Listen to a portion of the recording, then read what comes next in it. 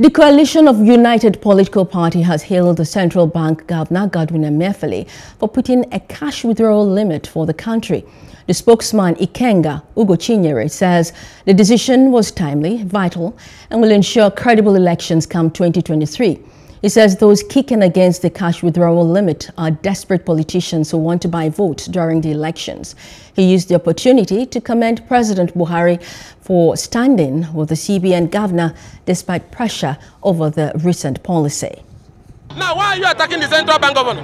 Because you want to force him out of office and reverse the policy so that these Omuma magicians can now be able to carry cash and buy vote. And we're saying, Mr. President, we thank you for standing with Godwin Emefiele and insisting that that policy is right.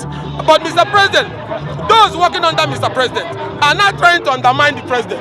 Even though they don't want to double into monetary issues, but that is hitting below the belt. We cannot accept that. We want the cash limit to remain, we want the new currency to remain, and want the central bank to remain in office and only to be removed if the president does not find him uh, fit.